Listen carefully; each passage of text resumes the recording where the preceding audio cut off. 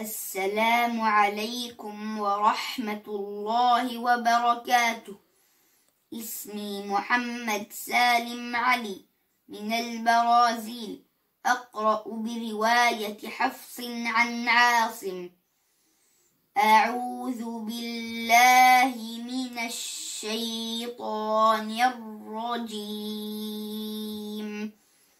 بسم الله الرحمن الرحيم.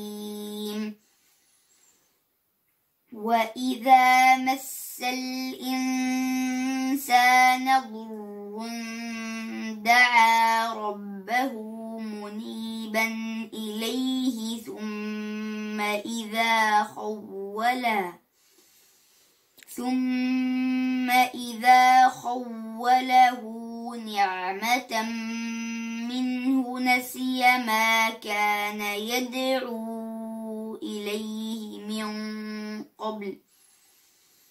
نسي ما كان يدعو إليه من قبل وجعل لله أندادا ليضل عن سبيله.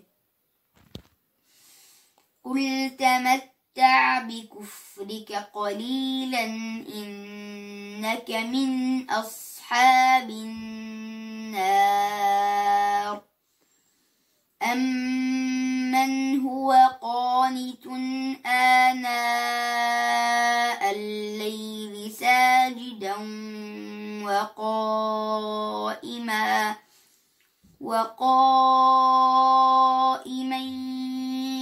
يحذر الآخرة ويرجو رحمة ربه قل هل يستوي الذين يعلمون والذين لا يعلمون إنما يتذكر أولو الألباب